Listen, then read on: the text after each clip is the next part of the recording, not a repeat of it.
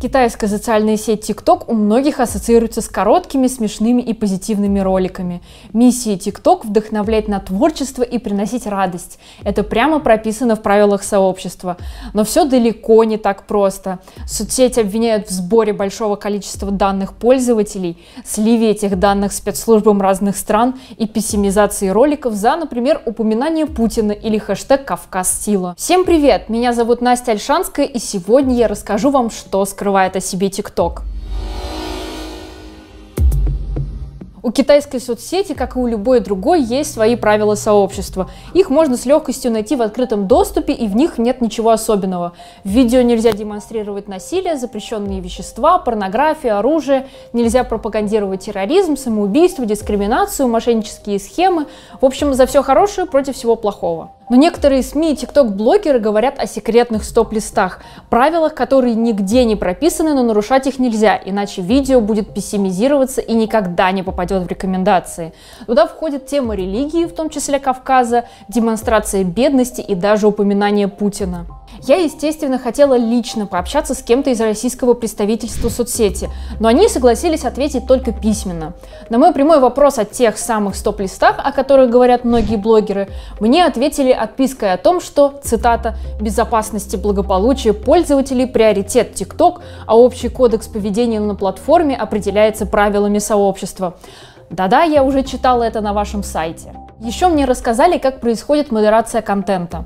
Сначала каждый ролик просматривают нейросети и удаляют, если видят там насилие, порнографию, призывы к самоубийствам и другие нарушения правил сообщества. Спорные видео изучают модераторы. На самом же деле, как рассказал изданию базы модератор российского ТикТока, им нужно просматривать каждый ролик, а иногда и по несколько раз. Первый на отметке в 10 тысяч просмотров, второй в 35 тысяч просмотров. Еще один досмотр проходит, если ролик претендует на рекомендации в других странах. Тогда к нему подключаются местные модераторы, у которых есть свои правила. Такая многоступенчатая схема нужна именно для того, чтобы ни один ролик с темой из топ-листа не набрал много просмотров и не попал в рекомендации. Тот же модератор рассказал, что в списке нежелательных есть, например, тема Кавказа. Ролик с хэштегом «Кавказ Сила» или «Ахмат Сила», снятый условным бородатым молодым человеком, редко наберет больше нескольких сотен просмотров. Религию тоже лучше не трогать, как и политику. Еще год назад The Guardian писал, что TikTok запрещает упоминать определенный список из 20 иностранных лидеров или важных фигур, включая Владимира Путина, Дональда Трампа, Барака Обаму, Ким Чен Ына и других. Кстати, в списке изданий нет председателя Китайской Народной Республики Си Цзиньпиня. Российский модератор подтвердил базе, что упоминание Путина есть в стоп-листе. Это ограничение, правда, опроверг один мой собеседник, популярный тиктокер Макс Фит. Причем опроверг, на мой взгляд, вполне аргументированно. Сейчас звук трендовый в ТикТоке. Наш президент страну поднял, и самый новый Мерин забрал. Типа, а до этого, ну, а начинайте звук типа Владимир Путин молодец, лидер, лидер, лидер и отец – с Ростин с колен поднял, и самый новый Мерин забрал. типа, ну, то есть, есть такой звук, ничего не банится. Я проверила, и действительно в ТикТоке есть и видео с первоначальной версии песни «Владимир Путин молодец», и с той, о которой говорил Максим. Вот, например. Наш президент страну поднял, и самый новый Мерин забрал. И эти видео набирают по несколько сотен тысяч просмотров. Так что либо модераторы почему-то пропускают такой контент и дают ему стать популярным, несмотря на запрет, либо запрета на упоминание Путина просто нет. Еще есть предположение, что TikTok пессимизирует видео, на которых есть проявление уродства или бедности, в том числе излишняя полнота, худоба или даже морщины на лице. Об этом писало издание The Intercept. Они опубликовали документ, который назвали внутренним документом соцсети. Правда, мне в рекомендации попадали и видеозаписи с полноватыми, и с худыми, и с пожилыми. У всех были сотни тысяч просмотров.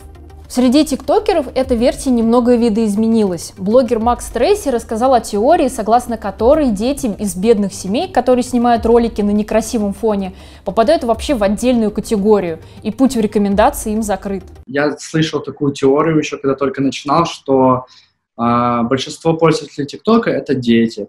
Они обычно там из семей, которые там, ну, там ниже среднего класса, у них там плохие квартиры, а, некрасивый сзади фон и так далее, и так далее, и так далее. И TikTok как бы это все анализирует, интеллект искусственный, и кидает их в отдельную категорию. И когда ты, допустим, если ты начинаешь снимать с таким же а, фоном в таких же плохих условиях, он тебя может приравнять к этим детям, и не пропускать его контент в рекомендации. База писала еще об одном интересном ограничении. Модератор российского ТикТока рассказал им, что украинским пользователям нельзя снимать видео про Великую Отечественную войну, а российским можно, но только позитивные и идеологически правильные. Я изучила ролики с хэштегом 9 мая и действительно не обнаружила ни одного негативного видео. Только «Спасибо деду за победу», «Никто не забыт, ничто не забыто» и «Помните ветеранов». Таких видео много, они собирают большое количество просмотров. И самое провокационное, что я нашла по этому хэштегу, это фрагмент интервью Нагиева Дудю, где актер осуждает надписи на машинах на Берлин и «Можем повторить». Я его не смотрел, да. Думаю, да, я так что-то вспоминаю, да. Я я этого не понимаю. Как и надписи на Берлин, как и надписи можем повторить. Я, что это?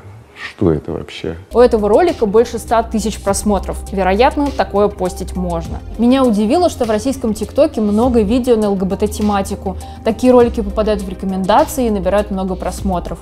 Вспомните хотя бы Олю Тыкву с ее «Привет, я подсяду». Привет, я подсяду?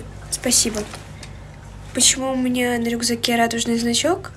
Ну, просто мне понравился радужный значок. Поддерживаю ли я ЛГБТ? Да. Да, я являюсь частью сообщества, почему ты спрашиваешь? В смысле навязываю тебе что-то? Так ты же сам спросил. Ладно. Хочу ли я свою подругу? Боже, нет, конечно. Почему я должна ее хотеть? В смысле всех? Нет, постой, это не так работает немножко. Тебе объяснить? Не надо пропагандировать? Я не пропагандирую, ты просто сам спросил у меня. Ясно. Я сумасшедшая, как все. Ладно, извини, что потревожила, я отсяду. После этого ролика девушки начали угрожать убийством пользователя Двача и участники сообщества «Мужское государство». Когда те выложили в открытый доступ ее адрес и личные данные, ей пришлось уехать из России. А то самое видео, из-за которого все началось, до сих пор не удалено, на нем больше миллиона просмотров. Судя по всему, ЛГБТ-тематики нет в стоп-листах даже у российских модераторов. Есть, конечно, в ТикТоке блогеры с консервативными взглядами. Их, правда, меньше, но вряд ли из-за внутренней политики соцсети. Просто либеральных и толерантных пользователей там гораздо больше. Впрочем, был один случай, когда сервис показал свою позицию по поводу ЛГБТ. В начале этого года блогер Вова Горяинов с ником Володя XXL в своем инстаграме сказал, что готов расстреливать гомосексуалов. Начался скандал, и ТикТок решил удалить аккаунт Вовы, хотя там были просто музыкальные видео без какого-либо оскорбительного подтекста. Потом аккаунт, правда, восстановили.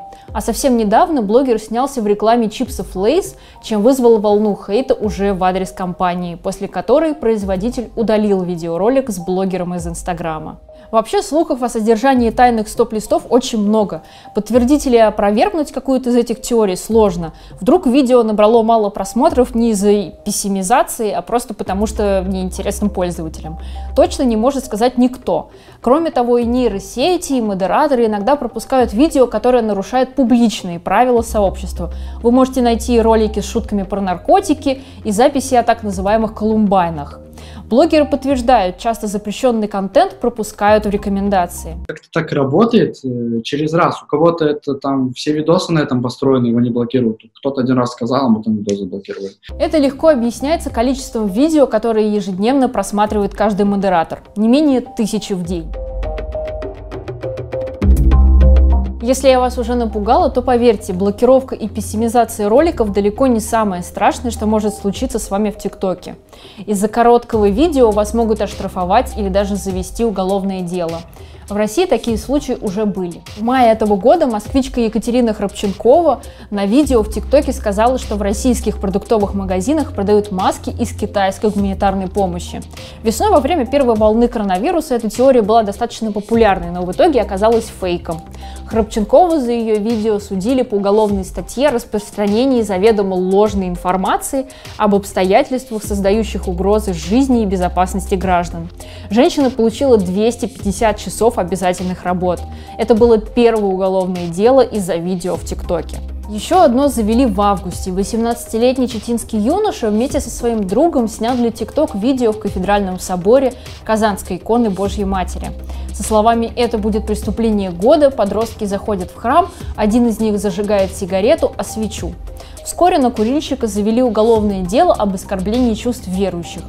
Парень уже несколько раз извинился и объяснил, что сделал это по глупости, а оскорблять никого не хотел. Но Следственный комитет извинений не принял. Административных дел за короткие видео больше. К примеру, жительницу Екатеринбурга Кристину Альтшулер оштрафовали за ролик в поддержку протестов в Хабаровске. Город Екатеринбург, я обращаюсь к вам. В эту субботу мы собираемся возле драмтеатра у фонтана. Страна, вставай! Мы не имеем права оставаться в стране. Пойдем с нами, говорит женщина на видео.